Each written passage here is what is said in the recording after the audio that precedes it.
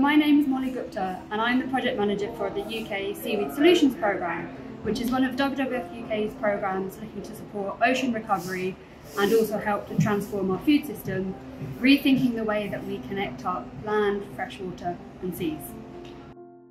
One of the things that we're really excited about for seaweed is that we think that growing seaweed in UK waters could help to recover some of our marine biodiversity. But not only that, once you take the seaweed out of the water and you turn it into different things, we think seaweed can provide us with a whole range of innovative different products that could go on to be used in things like packaging, like animal feed, like food for people, and in doing so, make small transformations across our whole food system.